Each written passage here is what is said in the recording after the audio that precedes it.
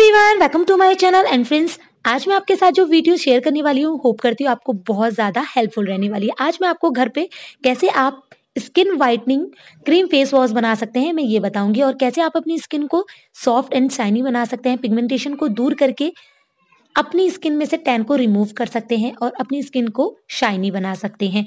और जितने भी व्रिंकल्स प्रॉब्लम है डार्क पैचेस है, उनको भी दूर कर सकते हैं। तो इसके लिए आपको वीडियो पूरा एंड तक देखना है। अगर पसंद आती है तो इसे लाइक करना है। और जो मेरे चैनल पर नए हैं, उन्हें को सब्सक्राइब करना है। तो आइए फ्रेंड स्टार्ट करते हैं।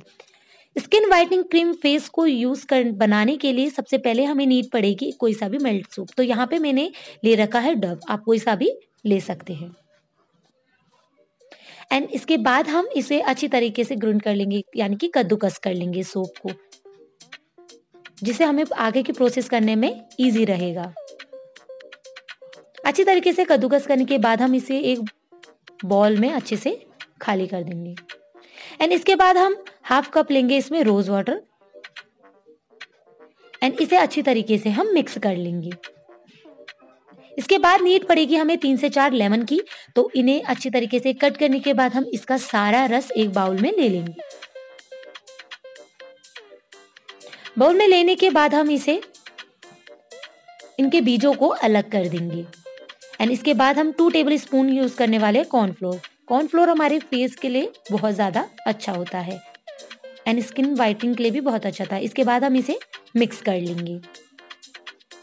इसके बाद जो हमने सोप को ले रखा था, इसको हम डबल बॉलर प्रोसेस से हम इसे मेल्ट कर देंगे। एंड हमें इसे तब तक मेल्ट करना है, तब तक हीट करना है, जब तक ये अच्छी तरीके से लिक्विड फॉर्म में ना आ जाए।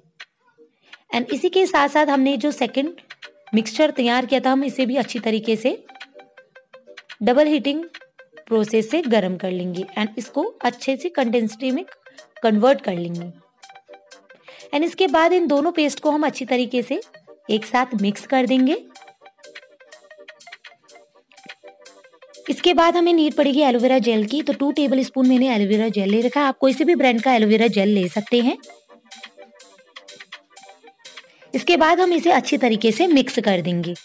अच्छी तरीके से मिक्स करने के बाद हम इसे एक खाली कंटेनर में कन्वर्ट कर देंगे। इसे हम एक से दो हफ़्ते तक भी स्टोर करके रख सकते हैं। तो अब मैं आपको बताती हूँ कि आपको इसको यूज़ कैसे करना है। जैसे कि फ्रेंड्स ये फेस वॉश है तो हमें इसे फेस वॉश की तरह ही यूज़ करना है। थोड़ी सी क्वांटिटी हमने लेनी है इसे। एंड इसके बाद अपने फेस पे स्क्रब करना स्टार्ट करना है। एंड नॉर्मल वाटर से इसको फिर अपने फेस को हमने क्लीन कर लेना है। क्लीन करने के बाद आप पहले रिज़ल्ट में देखेंगे कि आपको कितना अच्छा रिज़ल्ट मिल गया। इसे आप डे में दो से तीन बार तक यूज़ कर सकते हैं। को मेरा ये वीडियो अच्छा लगे तो इसे लाइक और शेयर ज़रूर कीजिए। वीडियोस को देखने के लिए मेरे चैनल को सब्सक्राइब करना तब तक के लिए टेक केयर एंड बाय।